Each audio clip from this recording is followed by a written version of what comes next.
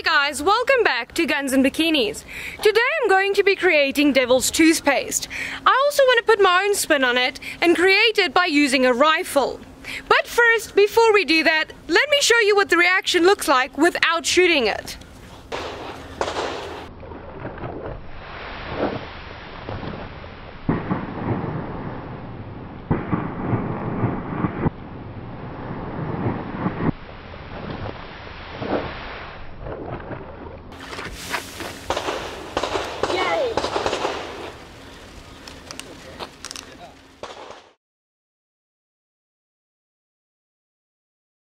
That's really cool. So what you're seeing there is expanding gases heating up as you mix hydrogen peroxide and potassium iodide.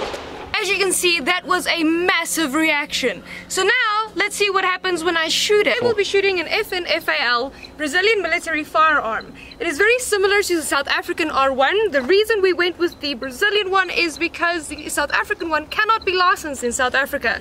So we had to order this one. It takes a 7.62 round and yeah, let's have some fun. Let's make some booms.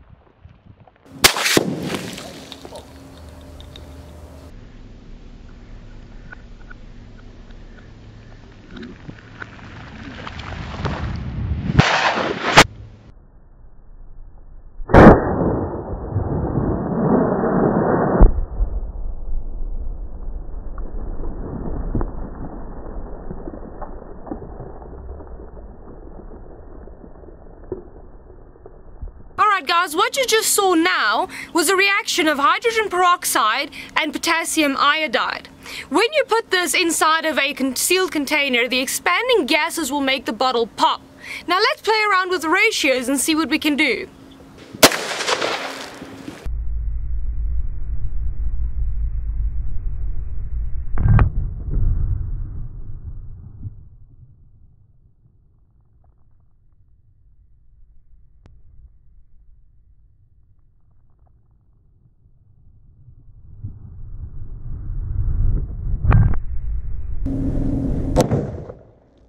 Well that was massively disappointing. So, taking a look back at the footage that you just saw, I seem to have missed the catalyst. Okay, my aim is not the best. So what I'm going to do is I'm going to line up eight of those bottles in a row so that I have more of a chance of hitting something. So, let's go have a look at that.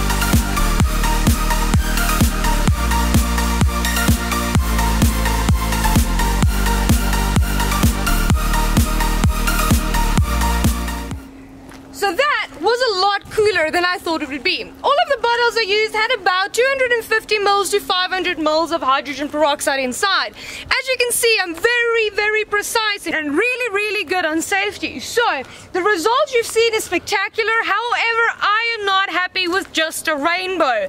Let's see if I go really overboard and take 10 liters of hydrogen peroxide, stuff that inside of a 25 liter container and shoot it with a massive rifle. Let's see what's happening.